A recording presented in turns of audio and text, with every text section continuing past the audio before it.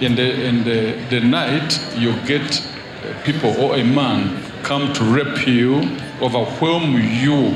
Yes. Suddenly, the man come you to about, to rape you at a speed as if you you you are falling. Yes, my name is Jack. You are falling into a pit, but the, the man who comes to rape you, that is the man who had devastated your life, your relationship. You say, I'm tired of this too. Oh God, which man of God will set me free from this? Kiman. My name is Jacqueline Namwenga. I'm from Lusaka, Zambia. Uh, I'm confirming what the man of God is saying to be true because I always face such attacks where a man comes to rape me. I see When you- myself falling, and uh, it started when I was very You young, 15. like yeah, 15, teenage.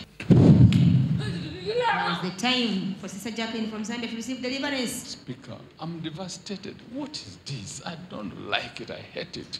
What have you done to our life? Leave me alone. Eh, leave you alone. Yes. Don't worry.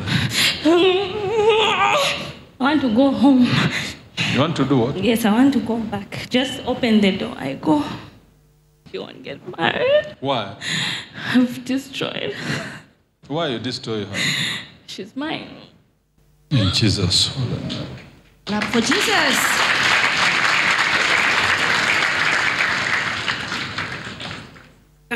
Eh? She's my sister. Jacqueline Your is my sister? sister. By the blood of